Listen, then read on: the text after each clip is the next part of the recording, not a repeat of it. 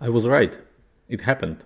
IWC brought back the Gerald Genta Ingenieur model. So during Watches and Wonders, IWC announced that they um, brought back uh, Gerald Genta Ingenieur model, and people are actually confused, and some are furious about this uh, new IWC Ingenieur.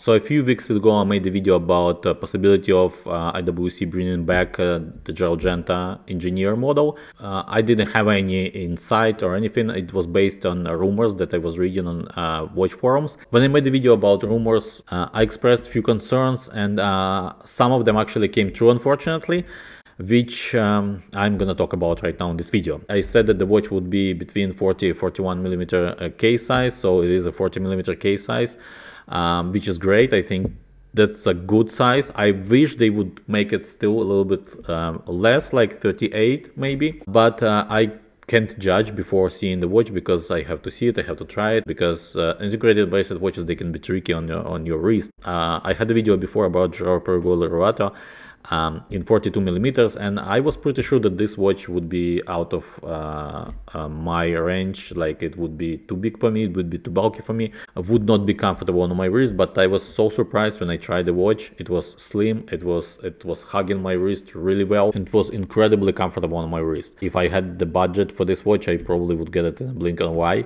so maybe with uh, this model it would be the same. Another thing that I said the based on rumors there were gonna be four models and it is is four models actually, three of them in stainless steel and one in uh, titanium.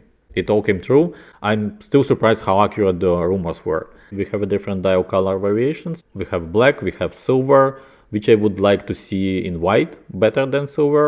But anyway, we have aqua color that we call it. It's a turquoise color kind of. And we have a titanium model with also like a silverish kind of gray silver dial. And another thing that I was afraid of that they will uh, price it too high, and I was right about that. Uh, again, that could be a debatable uh, question, but uh, in my view, in my opinion, they overprice it. Uh, by a few thousand uh, dollars. I would like to see the price slightly above mark 20 maybe, but I think it's pretty high for what it is right now. And I was reading comments about the price. People are furious about the price. They think that uh, IWC just um, overpriced it by uh, pretty big margins. Let me know in the comments what you think about the price. Do you think it is a fair price or they overpriced it? Anyway, let's go quickly over the specs uh, here. So we have, as I said, we have four models. We have three stainless steel models. We have different uh, dial variations. We have black, we have silver, we have turquoise, what they call aqua uh, model. Uh, we have like a grayish kind of color uh, dial uh, for the titanium version. It is automatic movement. Uh, it is 40 meters in diameter. It has integrated bracelet, of course. The watch has a 100 meters of water resistance screw down crown, which is great. As I understand, it doesn't have actual in-house movement. The movement they use is belongs to the Richemont group so it's not like actually in uh, IWC in-house movement, but more like um, their group movement, and uh, it's not like people usually consider as a true in-house movement.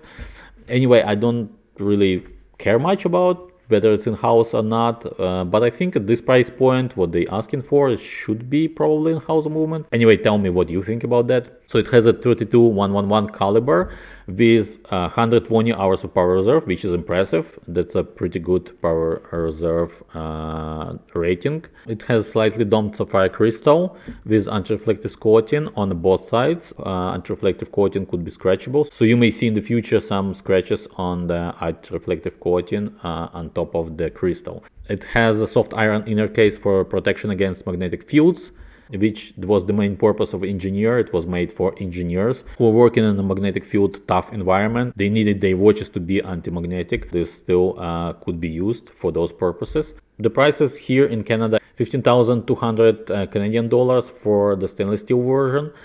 For titanium, it is higher. Uh, let me see